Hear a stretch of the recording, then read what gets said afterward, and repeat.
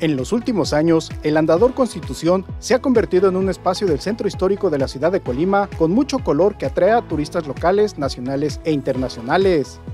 Mira, esta era una calle. Era la calle Constitución, que continúa aquí en la esquina.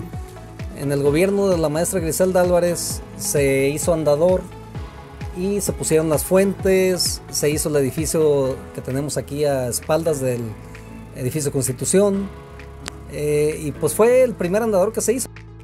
Fue entre 1980 y 1985 cuando este lugar se transformó en un punto de encuentro de familias y corazón cultural de la ciudad capital. Pues aquí se encuentran todo tipo de artesanías hechas por las manos de los artesanos de Colima y algunas que son hechas en otros estados pero que también son representativas de México.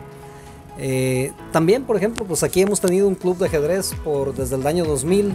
En las tardes Actualmente la caída de agua en las fuentes, las artesanías y la sombra del tendido artesanal ofrecen una tranquilidad para cada persona que visita este lugar. Pues está muy bonito el lugar, muy colorido y nos está gustando bastante. Venimos visitando, ah, visitándolos desde Guadalajara, vengo con mi esposo y mi bebé. Está muy bonito, pueden venirse a tomar unas bonitas fotografías. Manuel Pozos, Mega Noticias.